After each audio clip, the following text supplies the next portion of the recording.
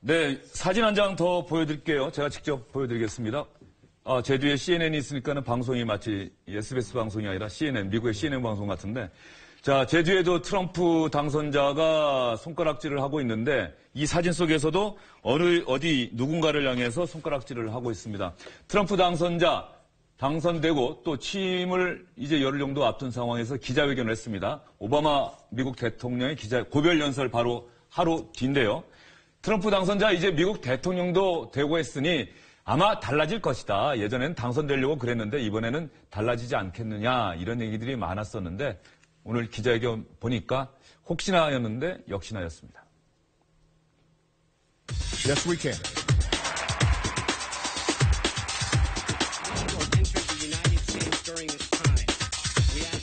We are nine days away from the inauguration of the 45th President of the United States of America. Our trade deals are a disaster. We're going to build a wall office, but I don't want to wait. Uh, I look very much forward to the inauguration. It's going to be a, uh beautiful event. I'm not going to give you a question. You are fake news. Sir, Go ahead. can you state?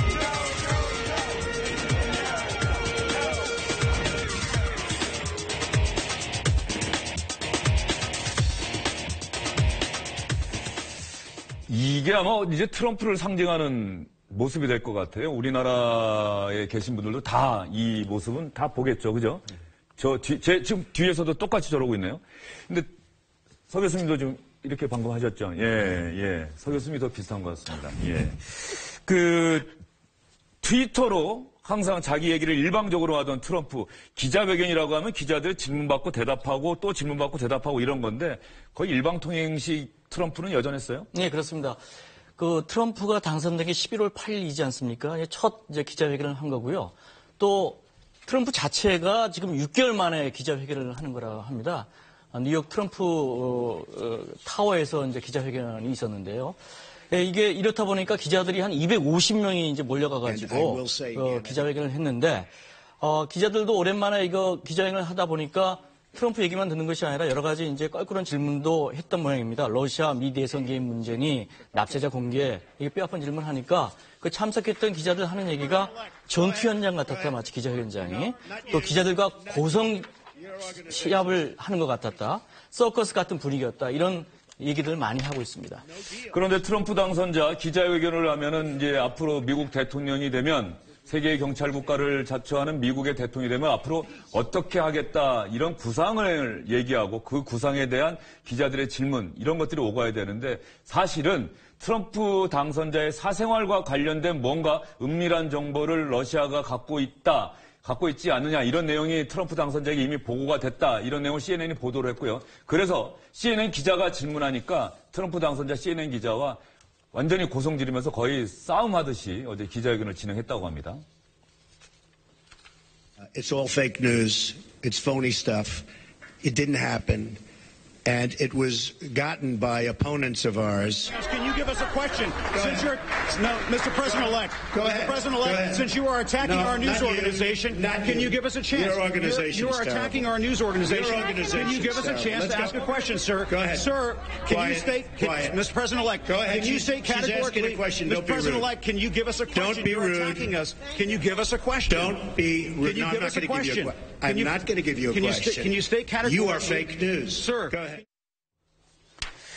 저 모습 보면서 저는 참 느끼는 게 많네요. 우리나라 청와대나 이런 데서 전혀 볼 수 없었는데 기자도 굴하지 않고 계속해서 대통령이 왜 우리 언론사에 대해서 그렇게 얘기하느냐라고 얘기를 하고 또 트럼프는 아직 못 들었다는 듯이 너한테는 질문 기회 안 줄 거야. 이 CNN과 완전 이제 아마 미국 대통령이 일하면서 CNN과는 사이가 상당히 안 좋겠어요. 글쎄요, 이제 CNN과 척을 져서 과연 그 트럼프가 4년 동안 잘 유지할 수 있을지도 좀 의문인데 어쨌든 선거 과정서부터도 그 주류 언론들과는 굉장한 사이가 안 좋지 않았습니까? 언론의 어떤 건전한 비판마저도 자신에 대한 공격이라고 생각을 하고 저렇게 언론을 탄압하는 것 같은 모습을 보이는 저런 트럼프를 보고 과연 미국 국민들이 어떻게 생각을 할지 앞서도 잠깐 나왔지만 yes we can, yes we did라는 말을 하고 물러났던 오바마 대통령과는 정말 여러모로 대비가 되는 것 같습니다. 그래서 저 트럼프 당선자의 기자회견에 대한 미국인들의 반응 저희가 저 트위터에 올라온 거 한번 정리를 해봤어요. 어떤 반응이 왔는, 나왔는지 보면은 트럼프 더 이상 재밌지 않다. 기자회견 무섭기까지 했다. 트럼프가 CNN을 가짜라고 하던데 우리는 트럼프를 가짜 대통령이라고 부르겠다. 서커스 같았던 트럼프의 기자회견이 끝났다. 보고 나니 머리가 복잡해졌다. 미국 시- 국민들은 이렇게 반응했는데 트럼프 당선자 또 뭐라고 했는지 아십니까? 자기 트위터에다 또 올렸어요. 역시 트윗 정말 잘합니다. 아주 긴박하게 아주 빨리빨리 올리는데 오늘 트럼프 타워에서 기자회견을 훌륭하게 마쳤다. 몇몇 가짜뉴스를 보던 언론사가 있었지만 사람들이 실제로 무슨 일이 벌어지고 있는지 알고 있다. 이렇게 얘기를 했습니다. 근데 트럼프 당선자 기자회견에서 주목할 만한 부분은 아까 김호식 특파원 뉴스도 보셨습니다만 러시아의 대선 개입에 대해서는 트럼프 당선자가 처음으로 인정을 했어요. 그동안은 모른다, 아니다라고 얘기를 했었거든요. 들어보시죠. As far as hacking, I think it was Russia, but I think we also get hacked by other countries and other people. 자, 러시아의 대선 해킹 이 부분은 인정을 했다. 뭐 클린턴 민주당 후보 입장에서는 사실 뭐 버스 떠난 뒤에 손 흔 드는 격이라고 할 수 있겠는데 그 트럼프 당선자가 돈이 워낙 많고 트럼프 그룹을 운영하는 재벌이었어요. 그런데 미국 대통령이 되면 원래 이거 다 백지 신탁 하거나 그래야 되거든요. 그런데 그거 안 하고 아들한테 맡기고 자기는 손을 떼겠다. 그래서 좀 논란이 있는 것 같아요. 예, 그렇죠. 그러니까 아들한테 경영을 맡기고 나는 손을 떼겠다는 그런 얘기를 했는데 그렇기 때문에 과연 이것이 미국 규정을 지킨 거냐는 의혹도 있습니다. 네, 물론 그 아들들은 전혀 이제 공직에 들어오지 않을 거기 때문에 별로 큰 문제는 안 될 수도 있는데 어떤 의미에서 문제는 그 맞싸윈 제라드 쿠슈너 아니겠습니까?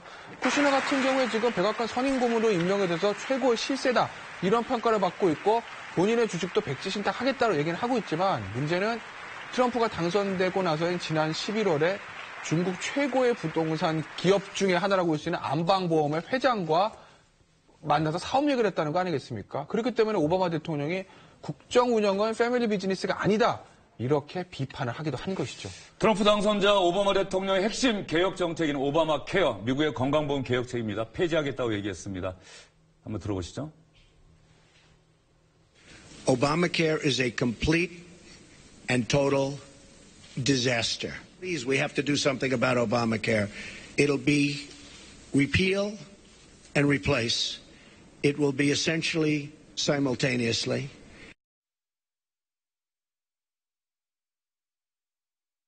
In 10 days, the world will witness a hallmark of our democracy. No, no, no, no, no. The peaceful transfer of power from one freely elected president to the next. I committed to President elect Trump that my administration would ensure the smoothest possible transition, just as President Bush did for me. 트럼프가 자신의 핵심 개혁 정책을 백지화한다고 하더라도 나는 평화적으로 정권 이양하겠다. 오바마의 이야기 상당히 인상적입니다. 오늘 방송 내내 하면서 이 노래가 떠올랐습니다. 최순실 국정농단 사건의 핵심 당사자들 다 필요한 말만 자기들에게 유리한 말만 하고 국민들이 정말 궁금해하는 말 진실에 대해서는 좀처럼 이야기를 하지 않습니다. 그래서 주영진의 뉴스 브리핑이 선전한 선정한 오늘의 노래는 바로 해바라기의 어서 말을 합니다.